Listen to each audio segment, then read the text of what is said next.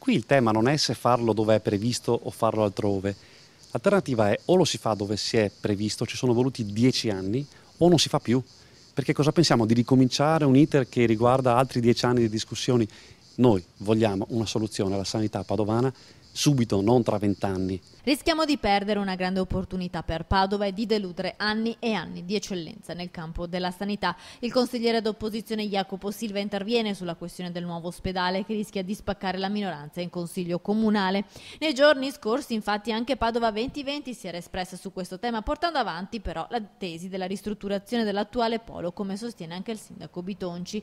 Dove volete fatelo ma fatelo, questa in sintesi invece l'opinione di Silva che teme che Padova a differenza delle altre province venete perda i finanziamenti. Questa polemica, continua infatti il consigliere, rischia di impoverire la città. Chiariamo le cose, cancellare un iter di dieci anni vuol dire fare un altro percorso di altri dieci anni.